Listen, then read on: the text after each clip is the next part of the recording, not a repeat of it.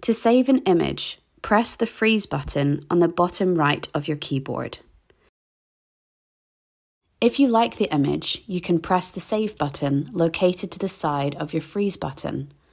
Alternatively, you can use the trackpad to slowly roll back frame by frame to find an image you are happier with.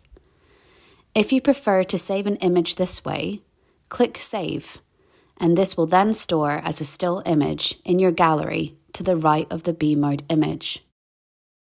Unfreeze your image to return to live scanning.